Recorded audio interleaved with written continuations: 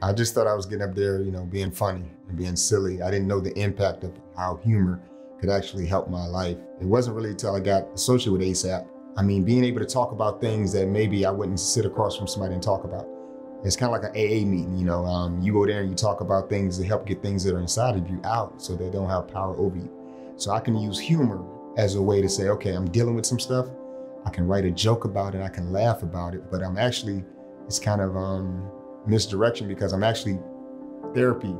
I'm telling you what I'm going through, but I'm just trying to laugh about it. Being able to see how ASAP has evolved from the infant stages to where it is now, I mean, it's like night and day. And, and you know, being a part of that is even is even better. It has evolved from being more just about not comedy, um, about relationships and, and building um, tribes um, and having that connection between individuals who are still some associated with the military, most of them are veterans, and that civilian side.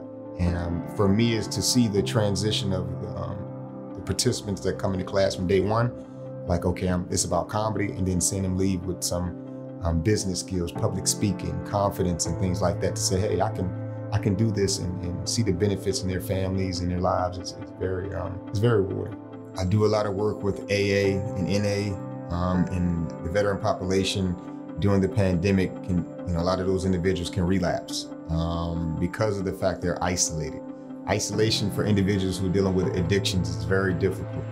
Um, and then a lot of them don't have the resources um, like a computer or laptop or internet services that can kind of reach out and get some of the classes that ASAP has or other um, organizations that are trying to do things like you know, work out online.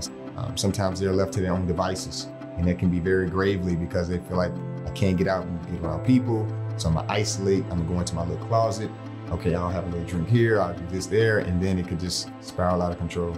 My vision for ASAP is that I would like to see ASAP in every VA hospital within the country.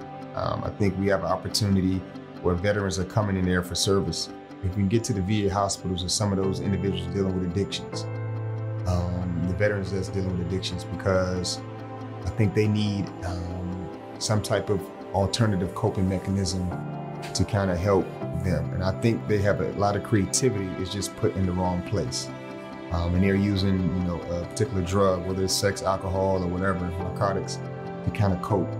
And I only say that because when I go into those uh, infirmaries and see those individuals, and when they're laughing, you know, every night clockwork, man, let me tell you a joke. Let me, let me, let me do this. You know, I could do this, I could do that. And I think they just want to have something to feel connected to. Um, and I think I would like to see them take some of the classes.